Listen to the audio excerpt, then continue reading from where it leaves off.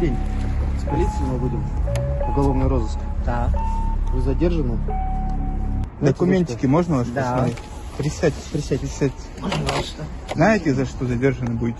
По подозрению этот, как его?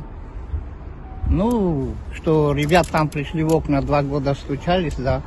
Запрещенное что-нибудь есть в Нету, кармане? ничего нету. Перчаточки снимите, пожалуйста, сидите. Пожалуйста.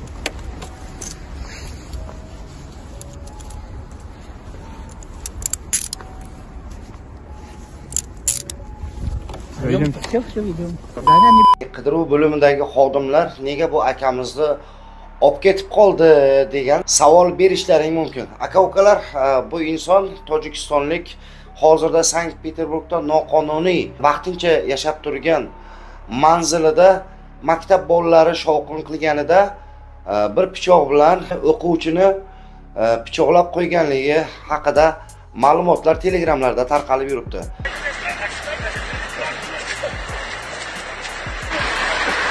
va barcha aka ukalarimizni ogohlantirib qo'yamiz. Sankt peterburgda novostroykada bo'lgan janjaldan keyin bu e, novostroykada hozir e, reydlar juda qattiq reydlar bo'lib juda ko'pchilikni hozir ushlab ketishdi va o'sha ushlab ketishgan e, stroykada ishlab yurgan aka ukalarimizni e, yarmini deport qilib va yarmini do'stlar qanaqadir javobgarlikka tortib e, yoki uylariga qo'yib berib yuborib e, qattiq reydlar bo'lyapti. Shuning uchun novostroykada ishlaydigan o'zbekistonlik va tojikistonlik aka ukalarimizdan iltimos qilgan bo'lardik. E, urush janjal qilmanglar.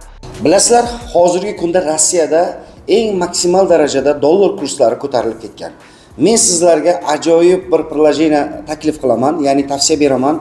Aka ukalar play marketdan yoki app storedan kirib yubor degan ilovani yuklab oling va siz rossiyadan turib o'zbekiston tojikiston qirg'iziston va qozog'istonlarga eng arzon kurslarda dollar yuborishlaring mumkin. Ishonmayapsizmi? Albatta kirib sinab ko'ringlar. Aka ukalar albatta rahmat deysizlar.